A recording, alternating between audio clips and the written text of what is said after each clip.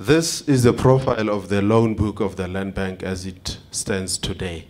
And it is not a picture that we are proud of because of the total almost 40 billion today in loans and investments that we have advanced to the agricultural sector, only two and a half billion of a total of 40 has been advanced cumulatively today to farms and agricultural enterprises that have black ownership, be it minority ownership, majority ownership, or full ownership.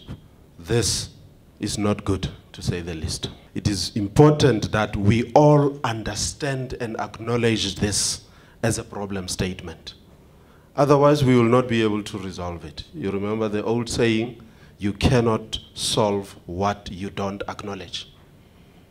So that is, uh, I think, the point to which we have come, to say we acknowledge that as an institution, we have not done enough. From a transformation perspective, we have to do things differently starting this year.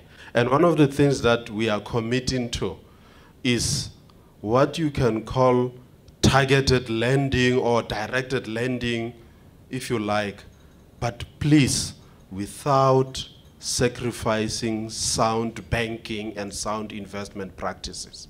All that we are saying is we have to make a commitment, and we have done so in our corporate plan, which has been accepted by the Minister of Finance.